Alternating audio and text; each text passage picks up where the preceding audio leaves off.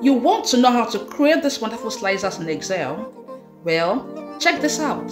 First, press Ctrl T to transform your data into an Excel table. Then go to your Table Design tab and click on Insert Slicer. Now in this little window right here, you must select the column for which you want to create slicers. In this case, I'm going to select Department. You can now reposition your slicer to adapt its design to however you want it to look. There you go. Now you have a simple slicer that allows you to filter your data to whatever department you need.